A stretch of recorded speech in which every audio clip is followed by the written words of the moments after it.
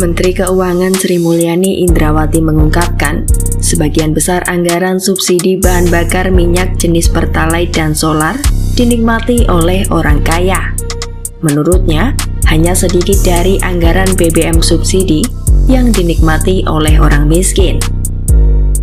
Sri Mulyani menyebut, anggaran subsidi dan kompensasi energi yang ditetapkan adalah sebesar 502,4 triliun rupiah dengan cakupan alokasi untuk Pertalite sebesar 93 triliun dan solar sebesar 143 triliun rupiah.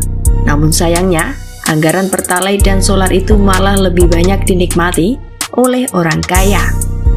Sebab, banyak orang dengan daya ekonomi yang mampu yang lebih memilih mengonsumsi BBM bersubsidi. Dalam ini dari 143 triliun itu hanya 89 persennya atau 127 triliunnya yang menikmati adalah dunia usaha dan orang kaya.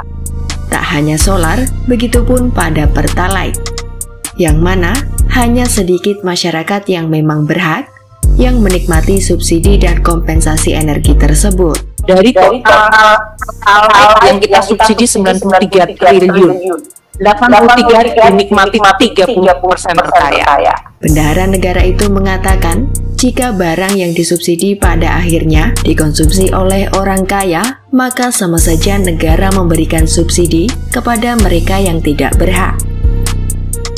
Oleh karenanya, Sri Mulyani menyebut pemerintah saat ini tengah berupaya untuk membuat kebijakan yang mendorong konsumsi pertalite dan solar bisa tepat sasaran. Terlebih, Anggaran subsidi dan kompensasi energi bisa membengkak 198 triliun rupiah jika tidak ada kebijakan pengendalian dari pemerintah.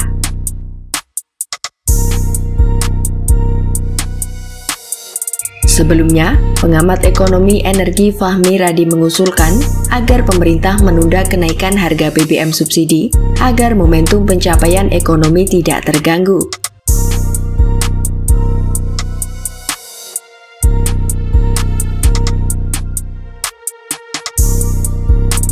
Menurutnya, pemerintah lebih baik membatasi pembelian BBM subsidi dengan menetapkan kendaraan roda 2 dan angkutan umum yang berhak menggunakan pertalite dan solar.